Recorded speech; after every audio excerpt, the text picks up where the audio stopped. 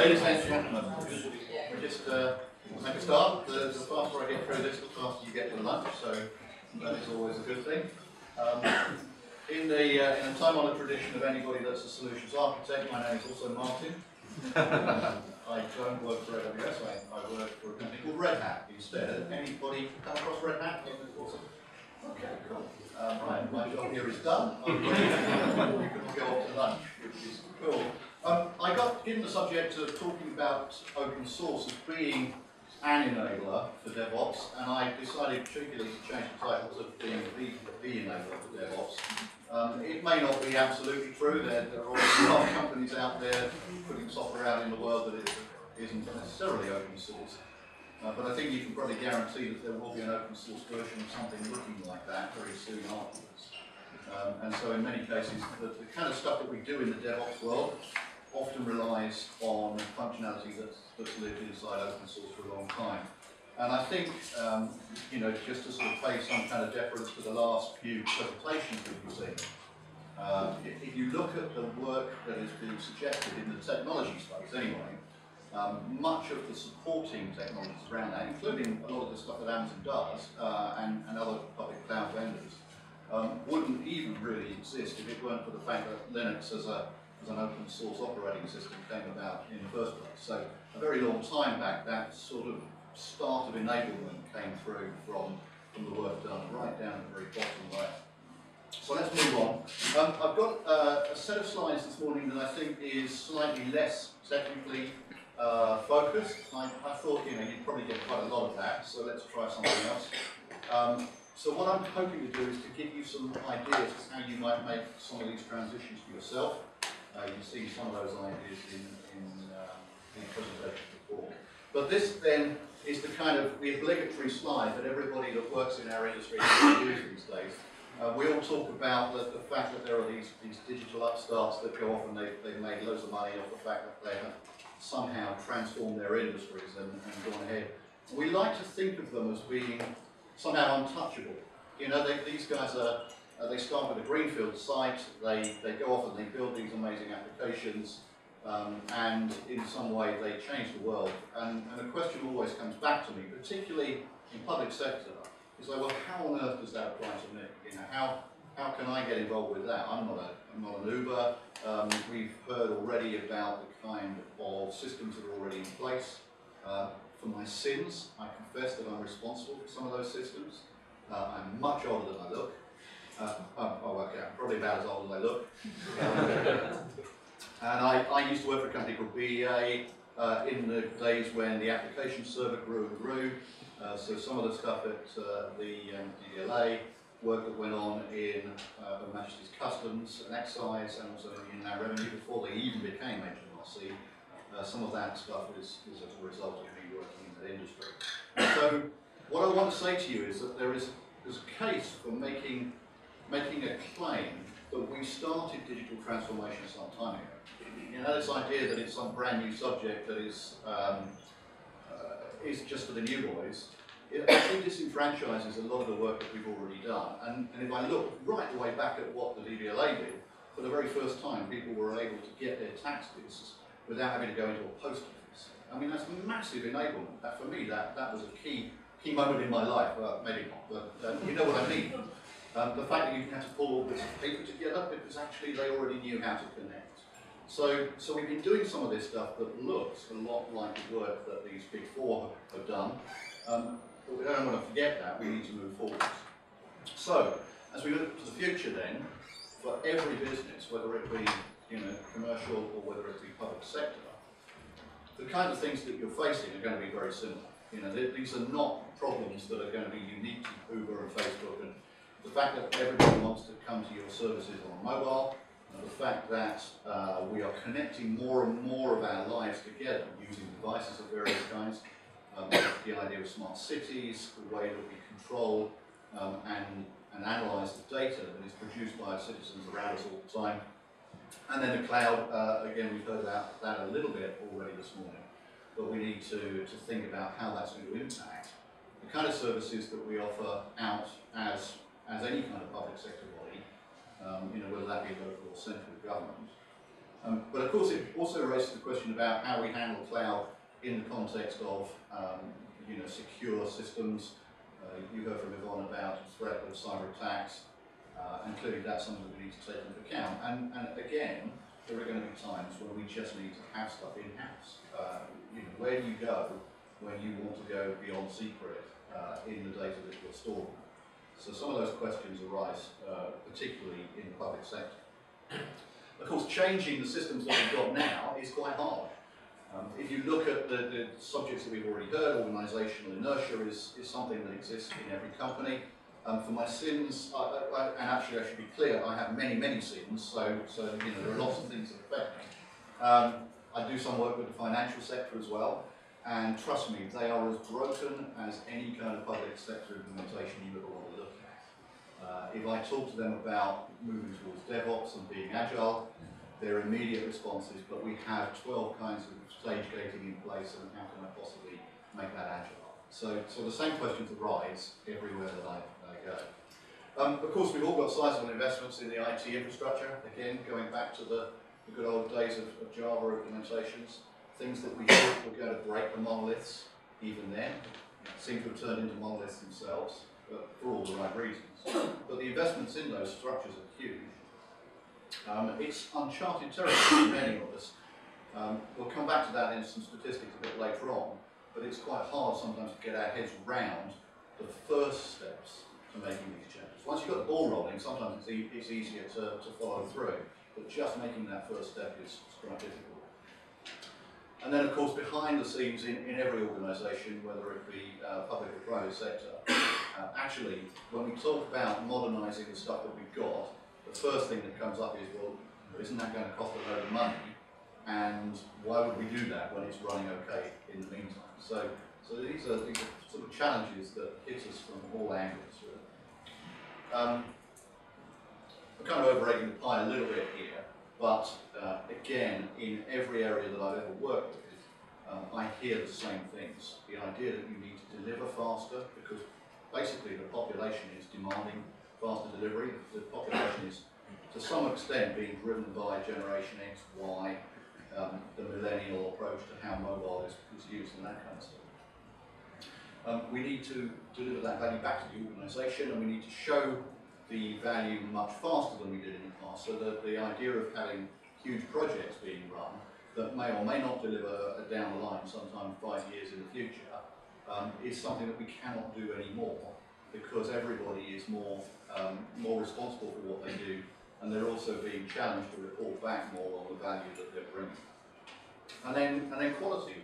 You know, in terms of the IT delivery of large projects, uh, it doesn't matter again where you have sat in, in building those projects. Actually, um, as Martin said earlier, it is better to think of those projects as being small and, and very often than being long and delivered once every five years. Because when we talk about failing fast, we want you to fail fast on very, very small things. You know, we don't want the challenge and the fear of failing slowly on a huge project.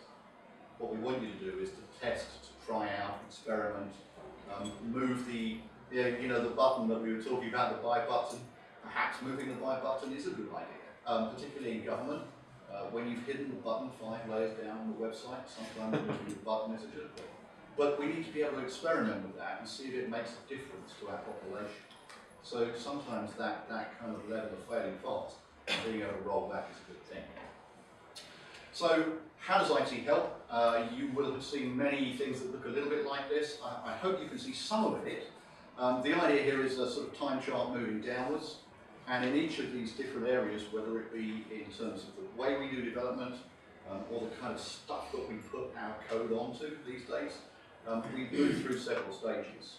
Uh, and right down the bottom is meant to represent something like the current state of play as far as technology is concerned.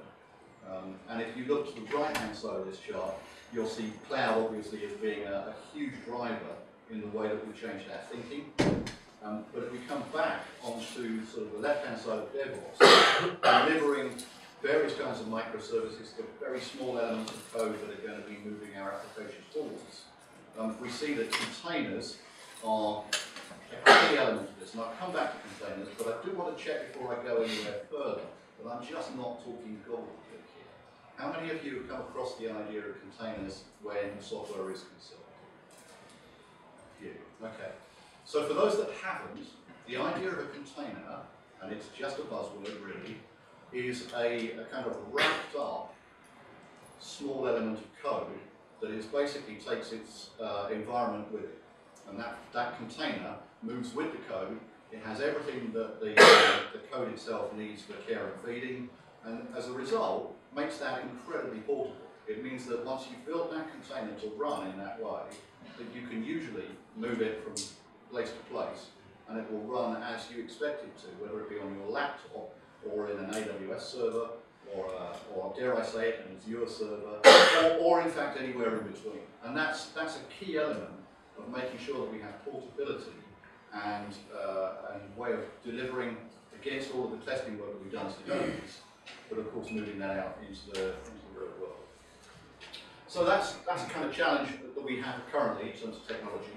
Um, I thought what I'd do is look at a little bit at what some of the analysts are saying. So IDC um, does studies on things like open source every now and again. Uh, this is uh, from towards the end of 2015, I think it was. But basically what they said was that there are open source technologies throughout the DevOps lifecycle of most organizations. Um, and of course they cover some real basic stuff like operating systems. I talked about Linux as being a key element of that to start with. But as you go across this to the right, and obviously it tails away slightly, we see things like cloud, we see things like platform as a service where, where you have a development environment available to each of those developers as and when they need it. Um, and then obviously things like software repositories to manage where we store that code when we've written. Um, key enabler for actually getting this thing working. And not only that, but if, if you talk to most of those organisations starting to do this, they, uh, they chunk this down into several categories. Um, the first two, because you probably won't be able to see that, um, is uh, how important are open source technologies to the success of your DevOps. 30% um, said that it was critical, and another 52 said it was, it was actually quite significant in their organisation. So that's a huge block of people saying, without open source in the background, um, it would be very, very hard to get this stuff going. And then finally, just because I work for Red Hat, Red Hat is a company that sells open source in, well, all you do is provide subscriptions to open source, but the work that we do is in, in getting that open source ready for use as, uh, you know, as an organization, and then we support it. And again, a key element of the survey found that folks wanted to use open source, but they didn't want the Wild West. They didn't want to be out there trying to make it all fit together themselves. So they wanted basically a classic one throat to choke type approach. They wanted to be able to see that there was support behind that, that that they were using. So it's great to get the innovation, but let's not sort of head towards the bleeding edge where everything is really uh, moving very fast. So what do we do then? Well, how do we fit all this stuff together? If you look at where open source as a whole has made contributions, it would be difficult to find an area of our modern IT landscape where it hasn't, hasn't touched. Uh, everything, as I said, from cloud all the way through to um, particularly mobile data analytics, um, big data as something that has grown and grown in popularity or in usage, as we've seen commercial organisations uh, making terrific strides in analysing every aspect of our lives. Um, of course, the challenge to us working in public sector is how do we do the same kind of thing for the benefit of the, of the population, for the citizen, uh, rather than for the benefit of the company that is analysing that data to just make more profit for individuals. So if, for, if, for example, um, as a result of various cameras on motorways, etc., we find out that traffic flows are particularly changing over a period of time, um, how do we analyse that big data set that is coming from those cameras and sensors in the roads uh, to make sure that we now have better traffic control and smoother traffic flow. It's just one example. What happens in the open source world, of course, is that the center of this diagram, where it says a million projects, and a million projects is just a random number. I mean, it, it's probably nearer two or three or four million projects. Who knows? There are people writing open source code all over the planet every day. And what they're usually doing is they're trying to fix problems that they personally have themselves. It doesn't matter whether they work for a large organisation or if they're doing it in their bedroom, something has really niggled them and they're trying to solve that problem. But the problem usually then is that that's a really, really unique, specific case. And it's possibly not even very useful to you anywhere else on the planet. You know, there's one person who's solved, I don't know, um, it's a terrible example, but they've solved how to connect to their printer over Wi-Fi, because that frankly seems to be a problem which is yet unsolved. Um, but, you know, in doing that, they may have come up with something that was infinitely useful to me, frankly, or, or to any of the rest of us in, in the building here. So how do they get that out to the rest of the world? Of course, the, the way that open source in general works is that they might push that up for other people to view. There might be other folks who correct it. There might be more people who add different printer types in there, or maybe even new ways of networking. And gradually that project grows and grows to the point where it becomes more useful to others. In fact, what we do as an organisation is we help that, that growth of the community, and it's the community that really makes those larger collections of projects work. Because when you pull together something that looks like an operating system like Linux, or a platform as a service offering like OpenShift, actually there's a significant amount of code in there. It's come from a lot of different places and people, um, but it, overall it provides a solution to a bigger problem.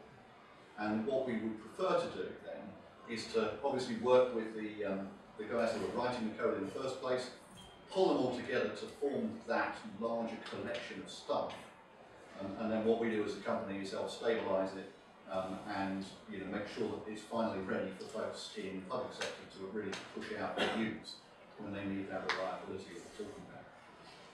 Um, we have a, a, kind of varied approach. I, I keep wanting to wander. I'm a, I'm a natural wanderer, and I feel like I'm caged this thing. And so I apologise if I'm, if I'm jittering, it's because of that. Um, if you look at the way that open source works down the centre, it is great at providing hugely fast, rapid iteration. It, I mean, it, it, spins like a top. Uh, if you look at the most popular projects that are out there at the moment, they, they certainly have three-month life cycles. Um, they're, they're released, you know, this is truly cutting-edge stuff. It's hugely innovative, but it moves, um, moves faster than most people uh, and companies can, can cope with. Um, as I say, there's brilliant innovation. This comes back to the idea that there is, uh, you know, the many eyes philosophy of open source means that people that you don't even know exist are out there thinking of cool things to do with your software. Um, and that means that actually every now and again somebody comes up with a blinding inspiration that nobody in the room has come up with before. And that's where innovation comes through. Community development, um, if you like, evolves on, on top of that. Uh, and then obviously solving problems and challenges means that fixes get pushed out very quickly. Um, the, again, the many eyes philosophy of, of solving code problems is such that, that uh, there is a lot of work done on every bug that's ever found. Um, and you know, as a result, often open source is more secure than the proprietary stuff that you've been using in the past, simply because it's out there available for everybody to look at. Um, and if you want examples of that, then you look at the uh, security enhanced version of Linux that's under the covers of, what we do. Uh, a lot of that code was written by um, an agency in the States who, you know, like, like all good three-letter acronyms, um, we're probably not allowed to talk about them, but it was part of that work that they put in there that enabled the security enhancements to go into the original Linux operating system. So, you know, there's, there's real interest, common interest, if you like, in then fixing some of those issues and releasing that back to the community. The problem is that open source coders, in general, don't care about user interfaces. And I mean, this is a very broad sweep, um, but if you look at most user, user interfaces on open source code, you'll find either they don't exist at all, or they were designed for, um, for Einstein or other rocket scientists people like that. Um, and surely if you can't figure it out, then you're clearly not, not good enough to come in. Um, and so that sort of level of handling that code is an issue. I mean, it is something that needs to be sorted out. And uh, that is part of the work that we take on as an organisation, is to help to build things in there that make it more usable. We also help companies and other organisations get changes that they make back up into that source right at the very beginning of everything. So clearly, uh, as you do, into the open source code up what they call upstream, where it's getting created, so that the next time none of us have to fix it again because it's already fixed at source. Um, the, the example that I like to give around this is the idea of the, the consortium of car manufacturers that all built a common chassis. Uh, you may have seen Seat and a few others in Europe, all built this, this common chassis with a standard platform with some wheels on it and you know sort of handling with the gear, gear train and things like that. Um, and every last one of those car manufacturers went off and built their shiny new vehicle on top of it. And they all look completely different, but under the covers, they'd all worked commonly on the stuff that makes it run and work successfully and reliably. And when one of them fixed an element of that chassis, all of the others benefited, so they, they kept contributing. So that's, that's a kind of good example. Um, we clearly provide QA integration. Um, if you have five or six different kinds of open source and you want to try to make, make them work together, um, often that is left as an exercise for the reader. Uh, that can be really tedious after the first couple of times you've seen a new release. And as I say, if, if the thing is moving at a rate where it's being released every two months or three months, then every three months you have to make sure it still works with the stuff that you've got. So, you know, quite hard work. We take on that, that responsibility. And we provide a, a support structure on top of that, coming back to the IDC report, because what basically that means is that you get patches for code rather than us turning around and saying, just download the latest version. Um, it may or may not fix your problem. Uh, that's not a very good way to run a business. So that's, that's the kind of work that we do. And as a result of that, and I won't dwell on this, I said I wouldn't go into products, but again, the same structure here um, as this one, where we participate in the very beginning of the, that code. We help to bring communities together to, to pull together those projects. And then finally, we provide all the support and the other QA stuff I was talking about. If you look at that in comparison to this one, in the middle are all the projects. Uh, next layer out are some of the communities that we've helped to form around that, and they're very active in, in the way they do that. And they're often much more cutting edge as well. They are really driving the, the, um, boundaries of things.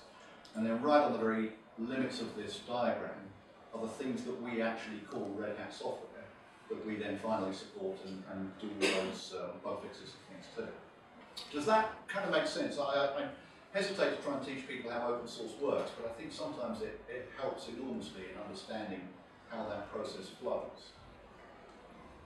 Good, I'll move on then. So our, our vision for this then is once we've done all that work, is how do you then run it across whatever systems you've got um, and right over on the right-hand side of that is, is the public cloud where Amazon and others play. Um, but of course, there are, there are ways and means for you to run that as a, as a kind of cloud infrastructure in-house, uh, something like uh, a private cloud. Um, but we want to come all the way back to those systems that you've already got, whether they be running on you know boxes that you've, you've physically got in-house, whether they've got virtual uh, machines running on them that you've, you've built up over time. We don't want to leave those behind. And so how do we cover that idea of a hybrid environment where everything runs together? And this, of course, comes back to the idea of containers, where I said that they were ultimately portable. So we'll come on to them in a minute. In fact, we'll come on to them now. um, again, another, another survey done, this time um, by IDC again. So what they've said, and this is really up to date. This is, I'm going to look at the tiny, tiny letters on here. Whatever. Uh, it's 2017 sometime, I did see it earlier. But regardless of that, they were talking to folks about how they're getting into DevOps. Now, what's frightening about that is that people self-identify as being new DevOps players. They, you know, they haven't even thought about it until the year 2017. So clearly, we're, we're not doing a good enough job, but uh, we'll, we'll talk about it more this year. Of those people that are just starting, 78% of them are talking about this idea of using containers to wrap up the little bits of code that they're writing, just to make them portable. Key driver, absolutely key to helping you get this, this kind of um, responsiveness and agility that we've been talking about.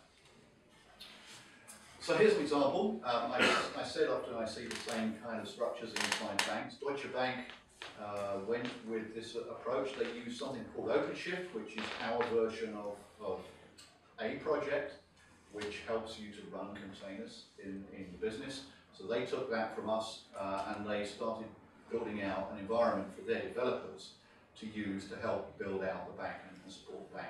They had many hundreds of applications that were in-house already. They classic brownfield site. And they'd seen some successes already by moving those, those applications across to what they were calling their in-house platform. Um, they realised very quickly that, that actually they were then building out a whole new platform. So again, they were, they were writing code that wasn't building them any value at all. And they came to us and said, look, let's take the platform that you sell uh, and let's put the applications on that. Um, in the process of doing that, they are talking about moving 85% of all their applications over. That is, that is an astonishing number, and the, and the actual dates that they've got in place for that, if you, uh, there is a link at the bottom here, I'll uh, leave that in for when you get slides, so you can follow that to a video. It is a fascinating case study, and it is clearly huge. Uh, it would be fair to say, without giving anything away, that the kind of savings they're talking about, uh, when they drive from 300 servers down to 50, um, that racks up to something like, uh, well, some hundreds of millions a year, let's say. Um, I'm not going to go further than that, um, but that is, that is fair to say. So that's just from them moving applications towards this containerized view of the world. Uh, Pat Healy is a great speaker as well, by the way. It's, a, it's one of those videos on YouTube that you could actually watch without cringing. Nice. So, so coming back then to how do we get this stuff working, we've heard a little bit about changing the organisation. Uh, again, going back to this survey, uh, what organisation changes uh, are you expecting to result or have resulted already? And a, and a large number of folks said that they think that um, they're going to have to change the way they monitor, the way they deliver, um, and DevOps itself is going to change change the organisation. I think we've, we've done that to death a little bit already. What I wanted to give you was some ideas about how you might start this, this kind of initial step to moving in there. And again, it comes back to the way that we do business inside Red Hat. Um, it's not, you know, I'm not going to claim that this is the only way to think about things, but we use it, it's very helpful for us. Collaboration is built into open source collaboration is part and heart of the way that Red Hat itself works. Uh, there is uh, shared working on almost everything that we do. As it says on the top right, shared problems are, are solved faster, um, and not only that, but they are solved in ways sometimes which you wouldn't expect. Like I said, sometimes the genius is not in the room with you on the day that you start the work. Sometimes the genius is somewhere else in the organization. So by making those decisions open in some way, you open yourself up to the idea that, that actually the solution may, may actually be working in a, a different group to the one you're in. Um, bringing everybody together in that way creates standardization around ideas. You know, you can't help but do that because people are, are either agreeing or disagreeing with the work that you're putting in place. So that automatically standardizes your approach across much of the organization. And we talk about DevOps as if it's something that, and I, I've caught this from Yvonne actually, dev and ops and we want to find a DevOps person.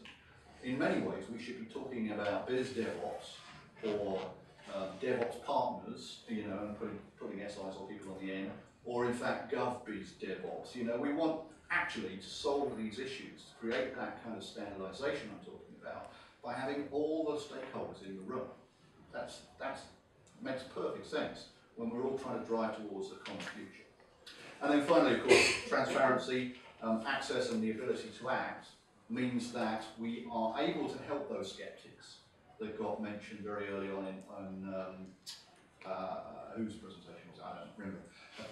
regardless. Um, so the idea that we just kind of bypass the skeptics, I don't think is actually very helpful. Uh, there are times when we need to help convince the skeptics, yes, that's fine, and, and there will always be a few digging and won't, won't be convinced. But when we, when we basically put them to one side what we're saying is that we don't value their opinion anymore. Um, and sometimes their opinion is correct. So we need to be able to pull those skeptics in and listen to them as much as we, as much as we work around. Um, I'm going to just show you this quickly again. You, you, can explore this. This is an open framework that we use at Red Hat called the Open Decision Framework. Um, and what we have in here is uh, a detailed description of the way that we treat each of those issues. It says release early and often, you've heard that before, the community I've talked about. Um, participation is a good one. Everybody has a voice, but not everybody has a vote. Uh, I mean, that obviously doesn't play out when I'm talking to government folks, but hey. Um, the, the point here is that everybody in the organisation has a way to express their opinion, um, but there are times clearly when we need to make decisions at the very top, having heard all those opinions, um, and then we need to choose a direction in which to go. So we, we don't allow you know, everybody to, to chip in and, and form some kind of referendum on the way our software goes. Um, but you know, that, that is clearly open in, in many ways more than, than normal. Please look at that. I think this is a brilliant way forwards if we're starting to talk about changing culture. Um, if you look at uh, some of the stuff that we've done with another company, another quick example, um, this is a company called Easier or Easy, uh, Easy ER, uh, based in Germany. They talk about how they handle um, patient, basically uh, patient management in, in German hospitals and they spend a lot of time working with a group of folk that we have called the Open Innovation Lab.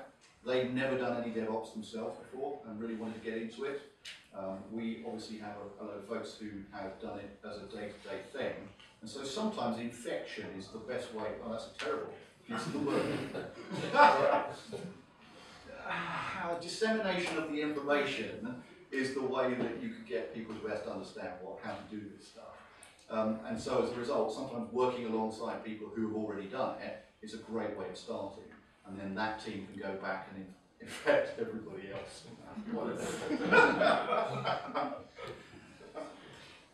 ah, sometimes the analogies break down. Right.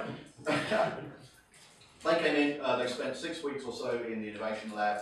We put them alongside our, our own practitioners um, they decided that they would build a minimum viable product based around how patients were called into hospitals, uh, and they built a mobile, a front-end mobile application in that time uh, that interfaced with the hospital systems that were in place, so that they could basically let folks know much more accurately when they would be called in for operations. And they didn't have to come in early, could spend more time at home with their loved ones and in the warm, or, or whatever it may be. And it also helped us save on, on things like hospital beds and stuff like that. So there's a lot of win-win situations in there, and they've taken that away, and now that organisation is growing up their own DevOps practice based on that stuff. So that's that's a way that we could help you move that one forwards. The path to DevOps, though, is about opening your culture up, um, automating, as we heard earlier, uh, as much as you can to get some quick benefits. Um, people talk about how they're going to make, how they're going to get started with this when it's going to clearly cost them money. Automation is is definitely one way that we start to, to strip out the people costs of doing repetitive, boring tasks. Um, it is something, it's a mantra that has been adopted by all the public cloud vendors. They automate the, the hell out of their systems because otherwise they'd just never be able to control it. There's so many systems to manage. Um, the other thing I would say actually in terms of application modernization is it's just about clearing up some money. Sometimes the move to open source and I know because I used to sell WebLogic, um, even just the move to open source frees up cash when you move to an equivalent version of that software. And having freed up that amount of cash because you're not spending it on a more proprietary solution with its equivalent costs, um, that money can then be put to the beginnings of the DevOps cycle. And that releases more money because you start to become more efficient and then, you know, and everything becomes nirvana and, and we're all happy sort of thing. But, but that's certainly one way of doing it. Um, and then, as I say, get the right platform because containers are the way that everybody is pushing forwards. And that is definitely something that you should consider. Um, I haven't dwelt on it. We can talk about it later on if you like.